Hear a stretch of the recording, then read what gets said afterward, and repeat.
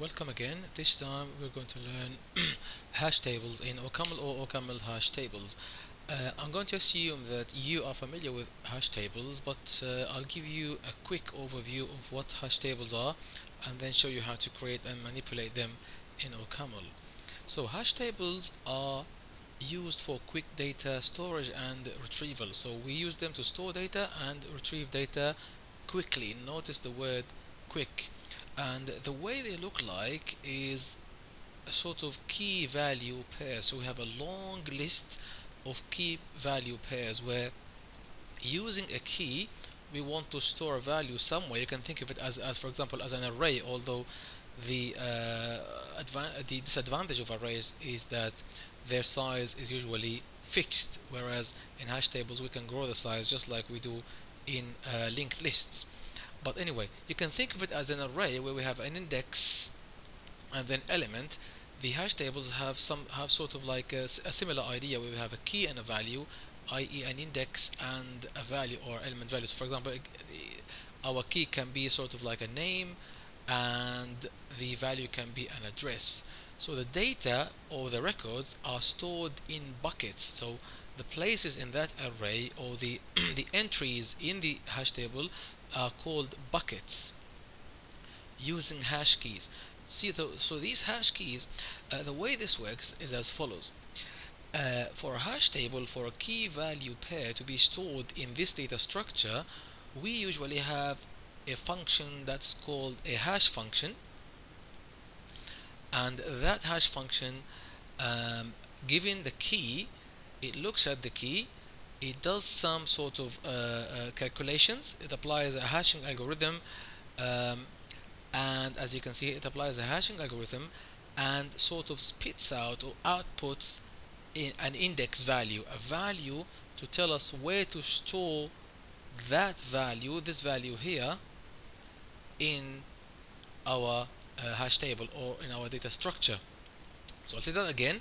We have a hashing function or a hashing algorithm that uses the key that we provide to generate a certain number or an index and we use that index to store our value that we want to store in the data structure or in our hash table. Of course that hashing function is so special that given the same key it should always generate the same index the same value that we use to store our value here. I keep saying value value. We have two values now notice. This value that we want to store and the value or the index value that is generated by our hashing function. And we use it to store that value and then to look it up again if we want to retrieve the value that is there. Yes? So it tells us the hashing function uh, is applied to the key and it pr produces a new index value that tells us where to store this value or the data or the record that, the record that we have in our structure or in you can think of it as we said as an array. And again given uh, the same key value they always return the same index. Also if just in case if we have a collision a collision here is that is the case where sometimes the hashing function produces the same key or the, yeah produces the same index for two slightly different um, key values. Well what we can do then is and this this case is called collision what we can do is instead of saving one value at that particular place at that particular location we can save multiple values by chaining them. So the technique is called chaining. So we can use a sort of linked list there and whenever we have a new value if that place or that bucket has one or more values uh, already then we can chain it link it to them using a linked list and then we can retrieve that value by using the key to get the index and then to look up that linked list. Enough talking. Let's have a look how it works when it comes to OCaml. OCaml we can go to the OCaml system and go to the index of modules and find module hash table. And in there we can find a lot of information. Um, this tells us that hash tables are polymorphic this function create we use it to create a hash table and then we can clear it we can reset we can copy values from there we can add a value or find one or more values. So these two finds one of them gives us the last the last one that's that was inserted in a certain location and find all gives us all the values if we had a collision and we had to store them in a linked list as I explained a few moments ago. And then mem remove to remove something replace replace a value. Mem checks whether uh, a value is in the table or not.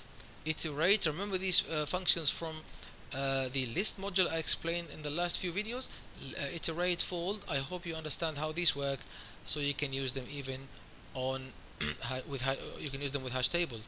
Then we can we have length and a lot of other functions as you can see let's have a look at how we can create a um, um, a hash table in OCaml let's go to our beautiful top loop and remember hash table by the way in OCaml uh, the way it's pronounced is hash tbl always remember that going back to our um, um, uh, top level. We can say for example let my hash or something. Let's for example hash table equals and I use hash table dot create and then uh, I give it a, I give it an initial size. Let's say for example 100 initial size. Now this size if I exceed the value of 100 entries then it will be ex expanded automatically so don't worry about the size. But always try to have a good guess of how many elements you need but as I said it will expand automatically. If you notice here we said this uh, single quote it means it's polymorphic. So the key value is polymorphic the key is polymorphic and the value is polymorphic. However that underscore means as soon as we create a table we add something to it. We if we add for example int and string then we won't be able to change the the types of int and string to float and uh, boolean for example.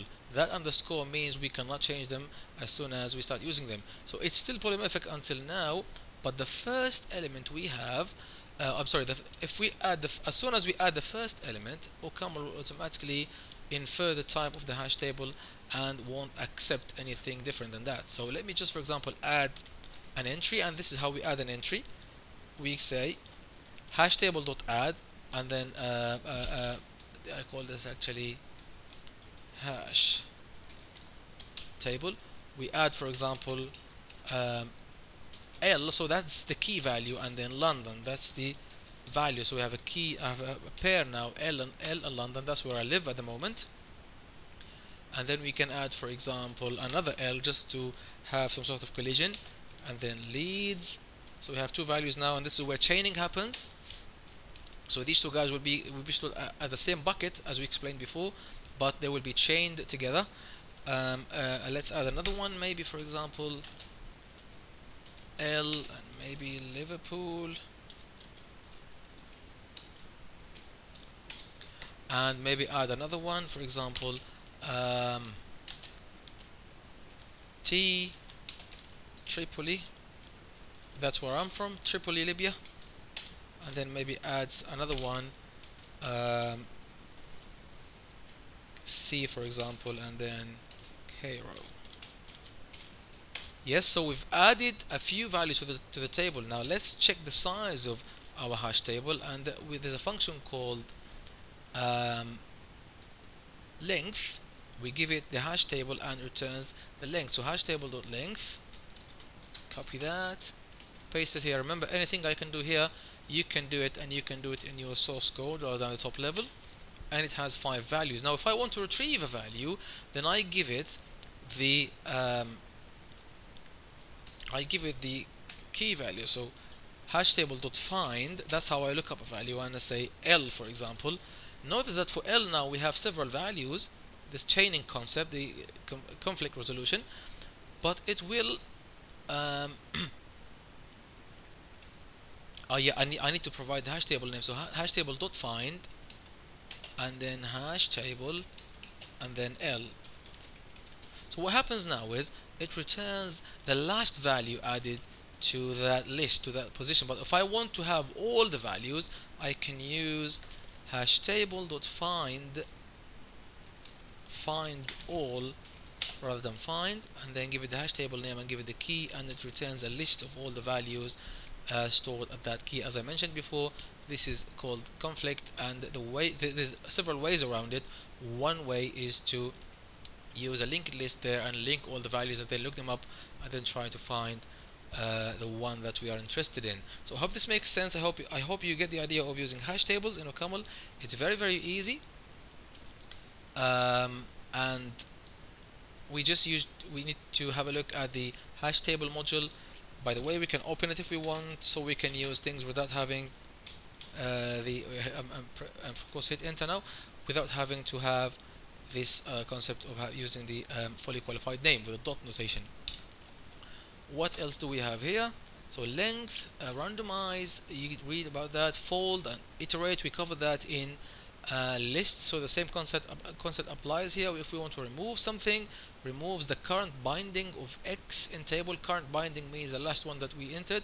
So for example if we use remove and L it will remove the Liverpool entry. So for example here the last one we, when we retrieved it when we used find it gave us back Liverpool. But if I use uh, if I use remove because I'm I can use it I can use remove uh, uh, uh, without hash table not now because I opened hash table I can say remove and then from hash table I provide the hash table name and then L then it remove the last one. Now if I do find L again it should bring back Leeds rather than Liverpool yes as you can see now uh, of course obviously the linked list here which is used to resolve the, the, the conflict uh, works as last in first out as a LIFO so it looks like a stack actually rather than a list. But anyway I'm sure you get the idea. That's how you can use it. Please read through the documentation. There's a lot of things that you can do. Find find all. We've seen those. To check whether uh, an element exists or a binding exists. Binding means when we say binding means that a key value pair exists so a value is bind to a key or a key is bound is bound to a value. Yes? I hope you get that. Thank you very much for watching and I'll see you next time